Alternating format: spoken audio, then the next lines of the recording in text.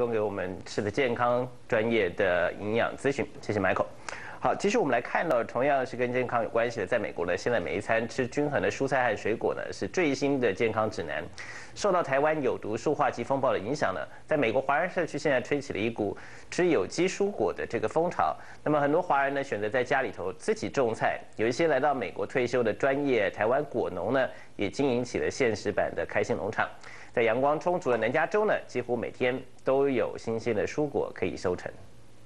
一颗颗又粉又大的水蜜桃摆在眼前，可别以为这是 Made in Taiwan，因为在加州台湾果农多年来的努力之下，一样可以在南加州的土地上种出又香又甜又好吃的水蜜桃，而且绝对是不含农药的天然有机蔬果，连南加美食达人涛哥也赞不绝口。吃到这个桃子，大家就可以就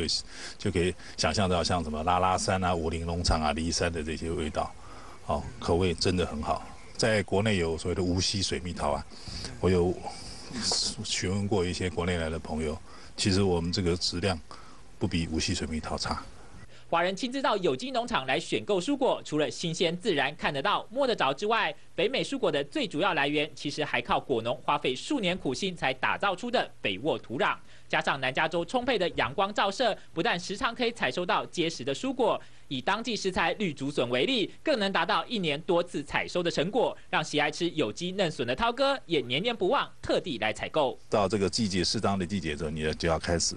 开采，然后它就明年还会继续长。在这个季节里面还会继续长，你就可以吃到很好吃的笋啊，可以煮笋汤，可以做沙拉笋。